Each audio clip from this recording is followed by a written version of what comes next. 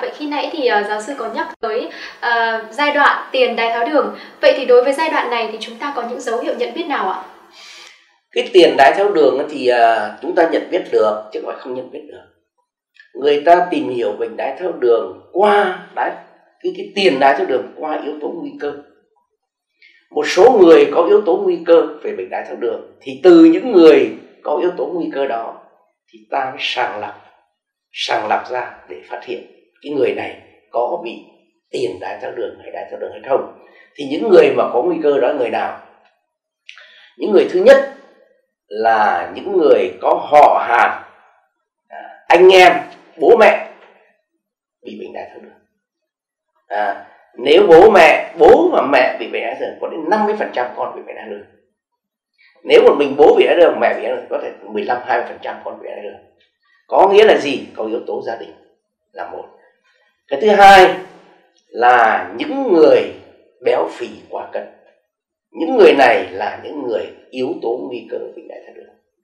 Cái thứ ba là những người có rối loạn lipid máu, nghĩa là triglycerid tăng cao, cholesterol tăng cao so với mức bình thường. Tôi nói như vậy để bà con là nghe và xin xét nghiệm về đường máu và mỡ máu. Chứ còn số lượng bao nhiêu là cao thì lúc đó đến bác sĩ người ta nói cho các bạn các bạn không hiểu được đâu không nhớ được thứ tư là huyết áp cao trên 140 trên 90 mm thủy ngân và những người phụ nữ những người này trong thời gian có thai bị bệnh đái tháo đường người ta gọi là đái tháo đường thai kỳ. Và những người có ngoài ra nó có cái hiện tượng nó có là gai đen có nghĩa là xa ra nó sạm này và những cái vùng nó sạm ra sạm vào nách sạm vào cổ sạm vào tai vân vân. Thì đến bác sĩ da, da liễu người ta chẩn đoán là bà hay là ông bị bệnh gai đen cái đó là một trong những yếu tố nguy cơ bị đái đường tăng huyết áp này gai đen này rối loạn vít máu này thai vật đái tháo đường thai kỳ này. Đấy, những người đó là những người rất là dễ bị bệnh đái tháo đường.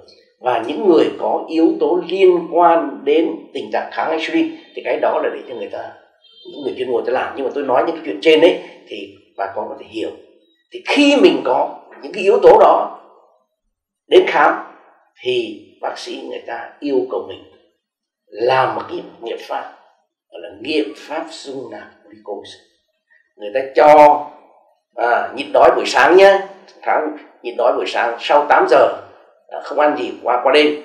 Đến người ta cho thử cái đường máu của mình tĩnh mạch sau đó người ta cho mình uống 75 gram glucose đường và sau đó người ta sau 2 giờ người ta xét nghiệm xem cái nồng độ glucose là bao nhiêu và dựa vào cái xét nghiệm đó thì người ta mới chẩn đoán cho mình. À ông bà ở trong cái tình trạng rối loạn đường máu khi đói hoặc là rối loạn dung nạp glucose. Hai cái tình trạng đó là hai tình trạng người ta gọi là tiền đại tháo đường. Và chính những người này là những người mà chúng ta có thể can thiệp được. Để làm thế nào cho họ tập luyện, họ theo một cái chế độ dinh dưỡng tốt thì không chuyển sang đái tháo đường. Đây những người đó không có triệu chứng gì hết. Không có triệu chứng gì cả mà chúng ta phải sàng lọc vâng. qua các yếu tố nguy cơ. Thì các yếu tố nguy cơ mà tôi vừa rồi nói đấy bà con nghe các bác các anh các chị nghe khi mình có những yếu tố đó đi đến khám bệnh thì xin cho tôi làm để xem tôi có bị đái đường không à, giai đoạn đó là giai đoạn tiền đái tháo đường